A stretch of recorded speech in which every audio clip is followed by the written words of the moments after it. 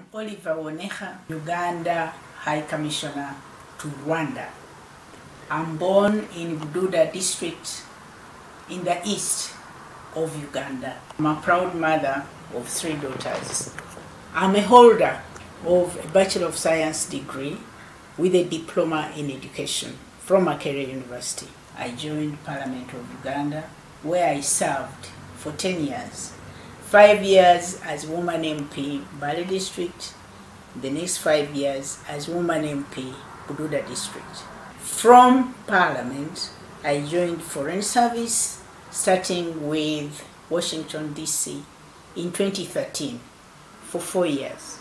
From there, I'm here uh, in Kigali since 2017. I ask fellow women that let's mentor other women, especially younger women, and ensure that the men are with us in the development of our country. Greetings from Addis Ababa, Ethiopia.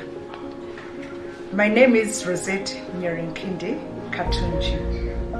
I'm an ambassador and I've served in the Ministry of Foreign Affairs since 1988. That's over 30 years of service.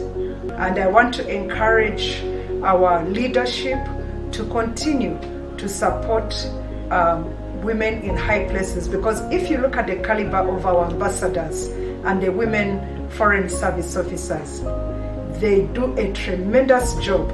And the international organizations recognize this because many of them end up working in international organizations to ensure that we lift up the profile and image of the country and this is what my fellow women and other officers in the ministry are doing. I thank you very much.